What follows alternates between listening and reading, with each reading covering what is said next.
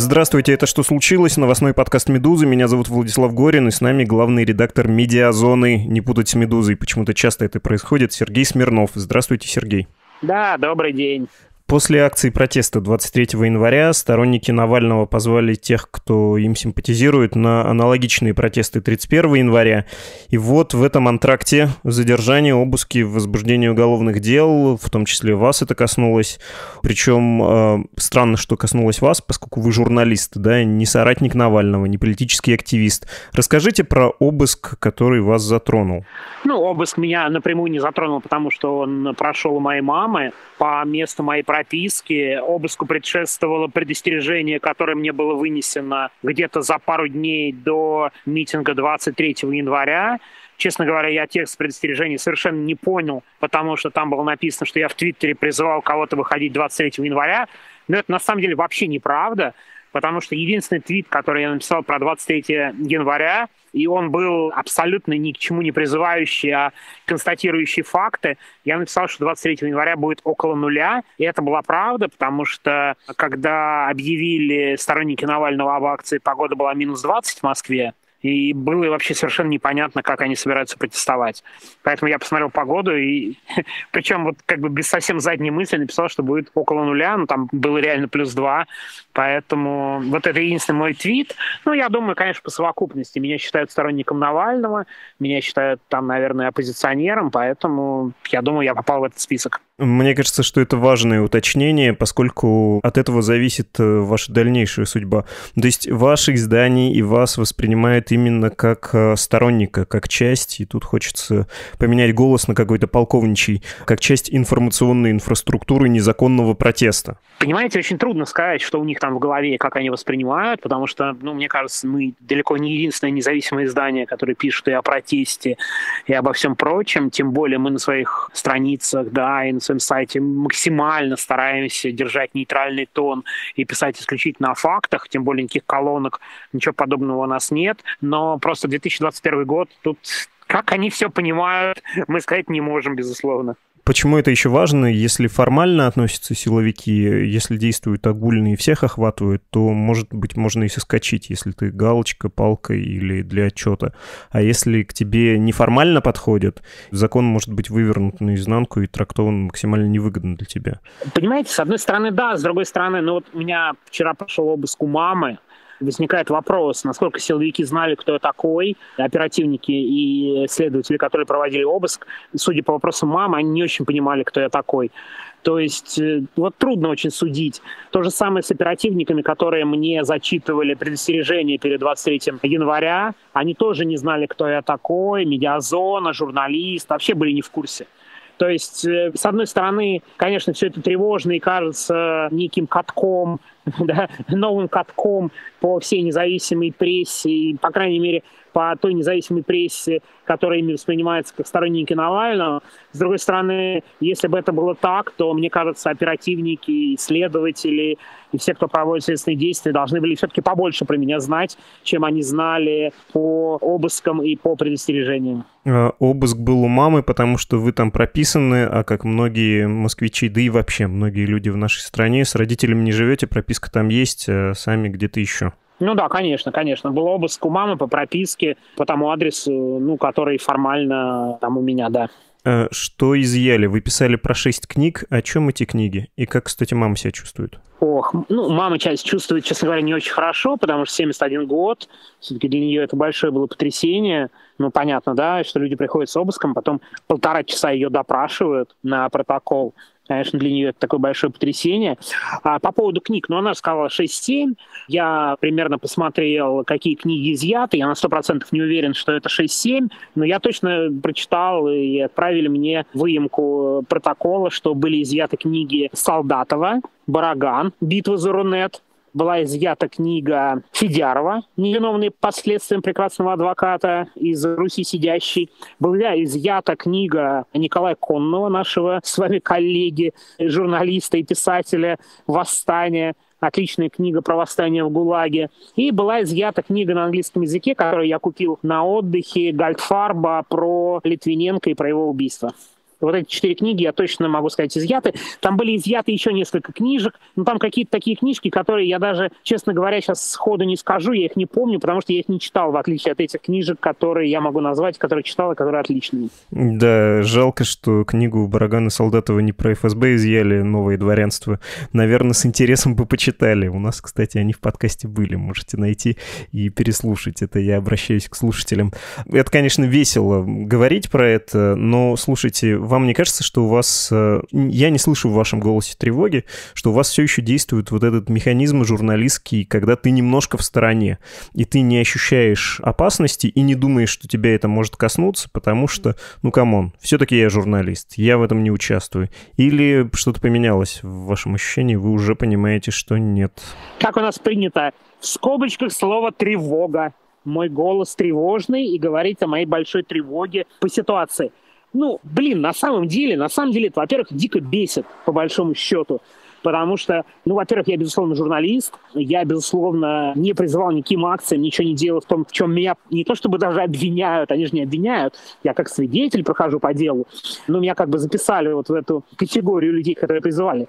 А с другой стороны, да и бог с ними. Вот так, если судить. Ну, как бы ты живешь в России в 2021 году, ты пишешь об этом обо всем, о полном попрании права. У нас сайт, в принципе, примерно про это, о том, что никакие права ничего не соблюдаются. Ну, понятно, если ты долго пишешь, что права не соблюдаются, то рано или поздно придут к тебе, и это докажет своими действиями. Вот именно это я, мне кажется, сейчас и наблюдаю. Так что, конечно, неприятно. Так вот, если в целом говорить, потому что к маме пришли, и мама там себя не очень хорошо чувствует, и, конечно, она взволнована но ожидаемо в том смысле, что если мы об этом долго пишем, надо было понимать, что рано или поздно это, конечно, и нас коснется. Закрывая эту тему, предельно персонализированную, мне жена из соседней комнаты вот пишет в Телеграм, у нас же не должно быть обысков. Не хотелось бы.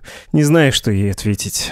Отвечу, что, что могут, но не будет. А вы знаете, ответить ей не хотелось бы. Ну, как бы да, правда, не хотелось бы.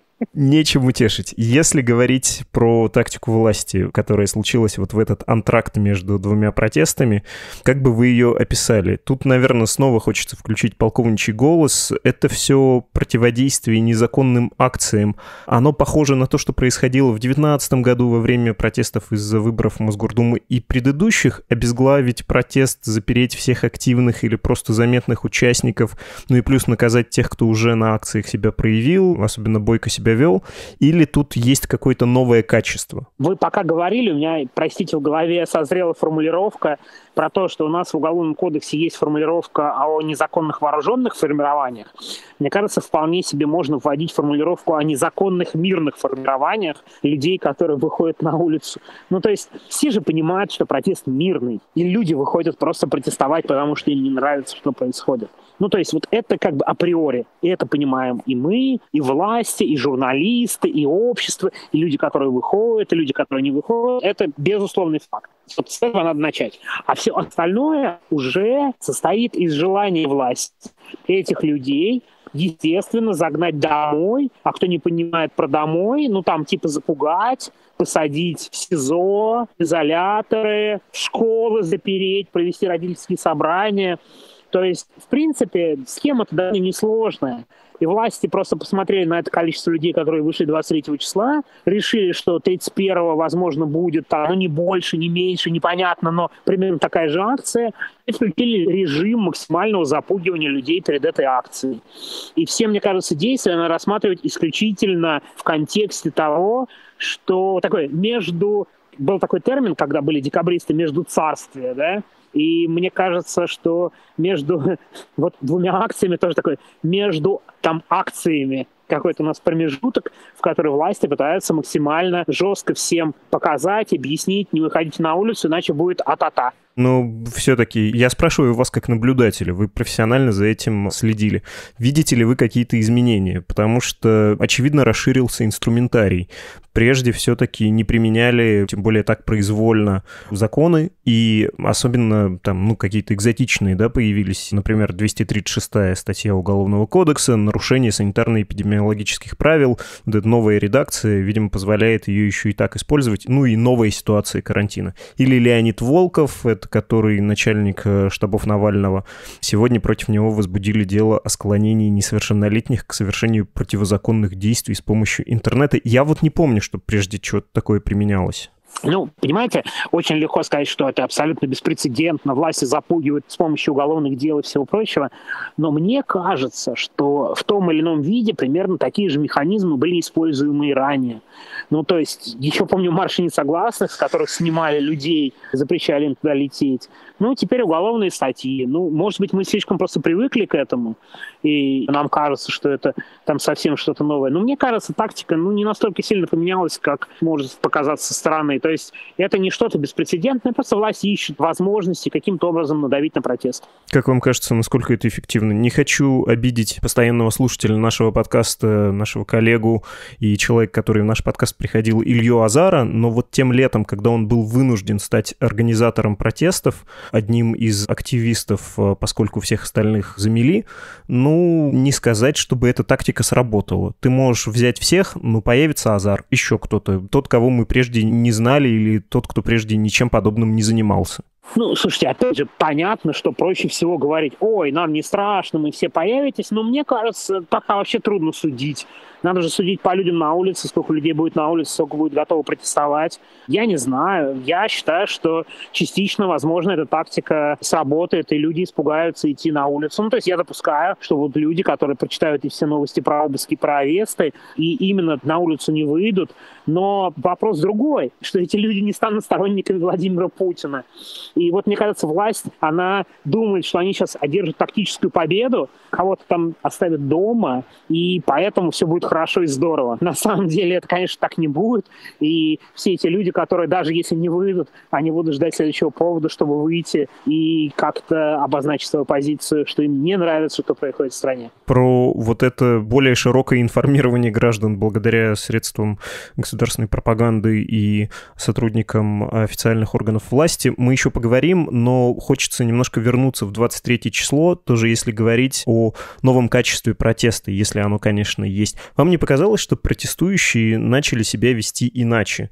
Тут можно, конечно, оговориться, что это, может быть, просто обновился состав участников протестов, но все-таки после всех этих пресловутых стаканчиков, сколотой зубной эмали, моральных страданий ОМОНовцев, очень свежо смотрелось по-новому и снежки, и помятый автомобиль с номером АМР, и прямые стычки с сотрудниками Росгвардии и полиции. Все-таки такого в последние годы не было, опасались протестующие применять чего-то такое? Понимаете, с одной стороны, хочется, опять же, согласиться и сказать, что вот, там как бы совсем новый протест, но мне кажется, это довольно ситуативная ситуация. Дело в том, что лицо протеста и люди, которые выходят на протест, они вообще сильно меняются. Ну, это разные люди. Ну, то есть надо понимать, что это люди, которые, вот, которые выходили на протест, они часто, там, я там знаю про болотное дело и про московское дело и про стаканчики, а люди, которые выходят на протест, которые смотрят ролики, которым все не нравится, что происходит, они как бы довольно далеки от медиа Озона, от московского дела, и от болотного тем более дела. Поэтому им как-то все равно, и они по ситуации принимают решения. Мало того, если власти думают, что такими мерами они запускают всех остальных, то я думаю, это не совсем так, потому что люди не любят читать про уголовные дела и про какие-то угрозы. Я думаю, что нет никаких оснований считать, что люди себя по-иному поведут в другой раз. Ну, конечно, людям надоело вот это вот полицейское насилие, дубинки, избиения, разгоны. И понятно, что когда есть много людей, кто-то из них, из этих людей, которые там собрались, рано или поздно будет давать отпор. Ну, по-моему, это просто невозможно этому воспрепятствовать, сколько бы ни говорили лидеры протеста, что у нас протест абсолютно мирный, сколько бы власти не запугивали о том, что будут уголовные дела. Но это такая, это стихия, это невозможно предотвратить. Тем более, что, ну, правда же, лидеры протеста говорят, что не надо сопротивляться, сколько было инструкций, не трогайте полицейских и все прочее. Но люди просто их это особо не читают. Ну и посмотрели на Белоруссию, и оказывается, так можно более-менее. Последствия и так, и так одинаковые. Ну, в том числе, кстати, да. Я думаю, они Беларуси особо не смотрят.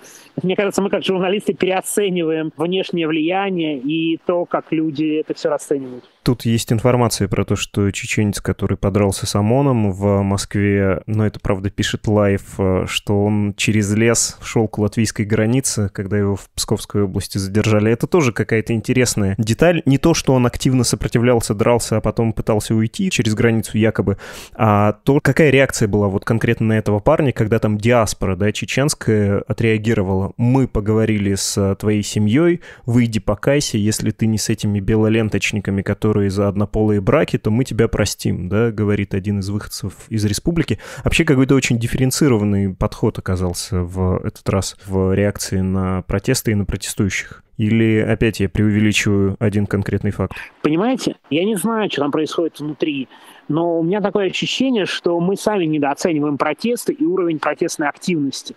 Ну, то есть, опять же, мне трудно судить, но мне кажется, всем понятно, что протест не на ровном месте что есть причина, что всем надоело, что вот-вот там еще все будет жестче и больше людей. И вот такая реакция и все прочее говорит о том, что, ну, блин, мы все понимаем. Ну да, главное, что не с белоленточниками, не с прочими. Понятно, что если там полицейские кого-то бьют, ты там на автомате начал отвечать, и молодец. И такое ощущение, что даже власти понимают, что это все не просто так и не на ровном месте, да. И это несколько новая ситуация. То есть корни протеста и корни даже какого-то сопротивления полиции, они не из-за того, что там люди-хулиганы или люди послушали Леонида Волкова и начали сопротивляться. Тут все гораздо глубже. Да, хотя, казалось бы, ничего не предвещало появление. Давайте, кстати, про информационную сторону все-таки поговорим. Возвращение Навального с его задержанием и вот этим милицейско-полевым судом в Химках, потом публикация фильма о резиденции в Геленджике, это все мобилизовало людей и в том числе стало триггером для выражения, может, каких-то других эмоций протестных.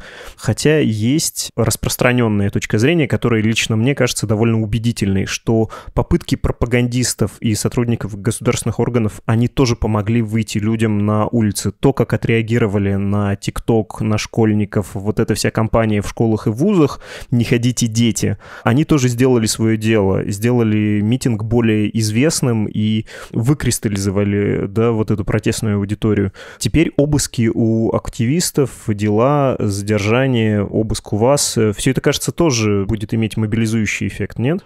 Опять же, ну вот понятия не имею, не футуролог, очень трудно тут судить, понимаете я, как человек, который да, изнутри наблюдает уголовные дела и деградацию правовой системы, вообще с трудом могу судить. Мне кажется, все настолько плохо, и люди настолько запуганы, и люди настолько ни во что не верят, что ничего не будет. И для меня, кстати, был сюрпризом, лично для меня, масштаб протестов 23 января. Я могу сказать честно, откровенно, я даже близко такого не ожидал.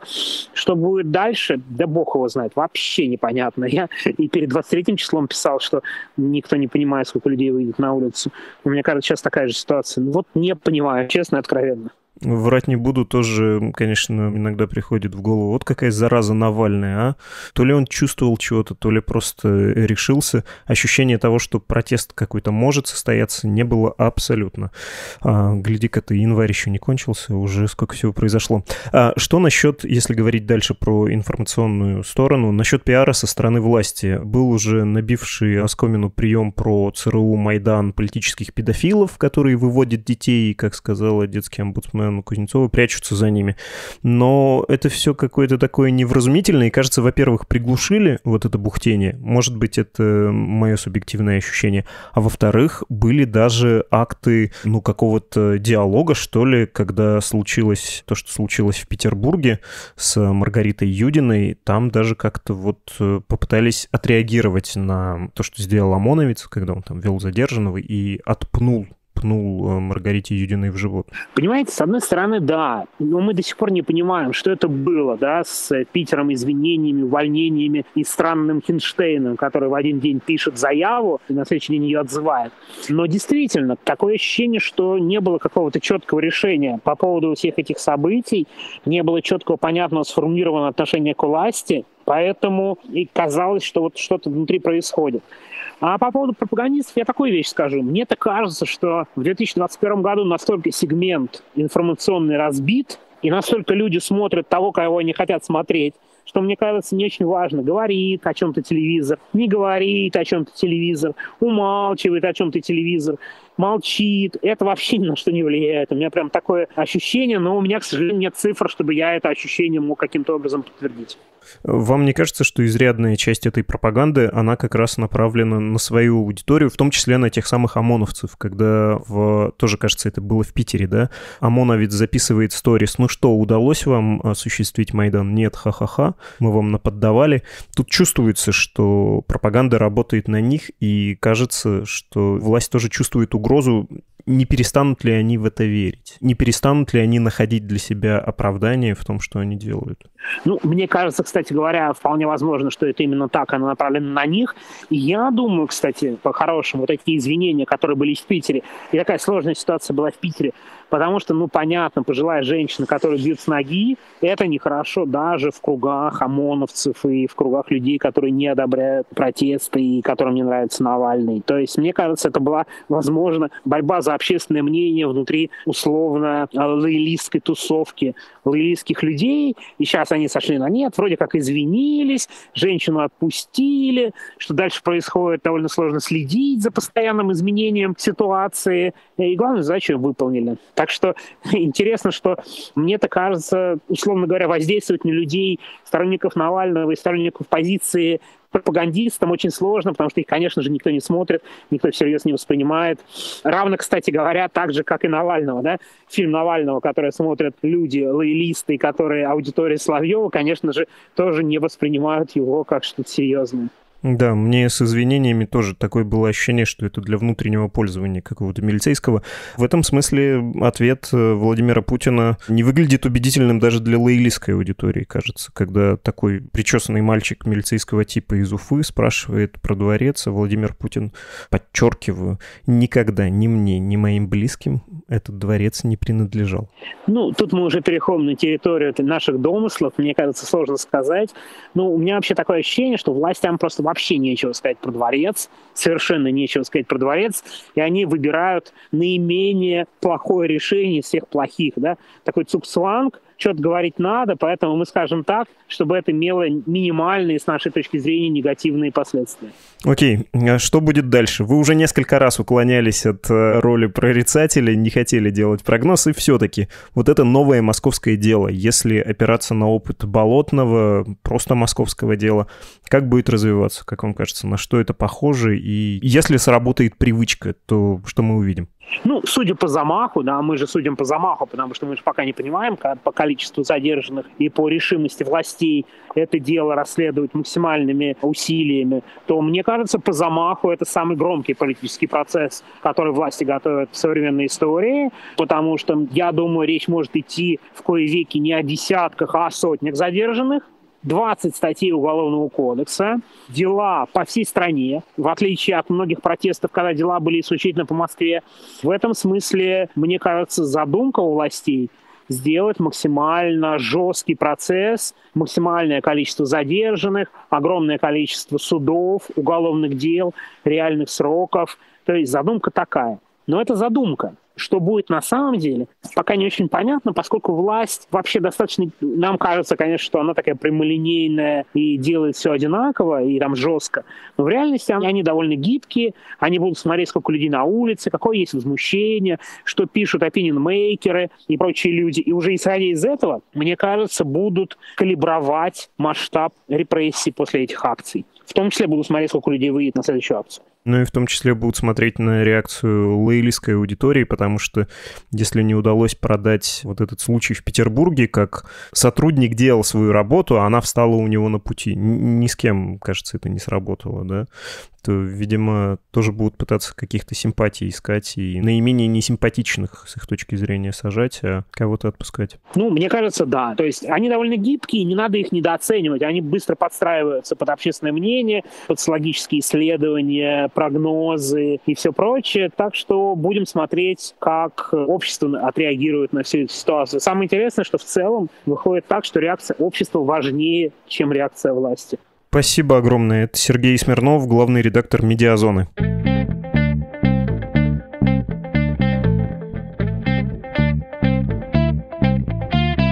Это был подкаст «Что случилось?». Он о новостях, которые еще долго останутся важными. Все наши выпуски и эпизоды вообще всех подкастов «Медузы» можно найти на сайте издания, в мобильном приложении, ну или на подкаст-платформах, таких как Apple Podcasts, YouTube, Google Podcasts, Яндекс.Музыка, CastBox, Spotify и так далее. Для ваших писем есть email подкаст собакамедуза.io и Telegram «Медуза loves you». До свидания.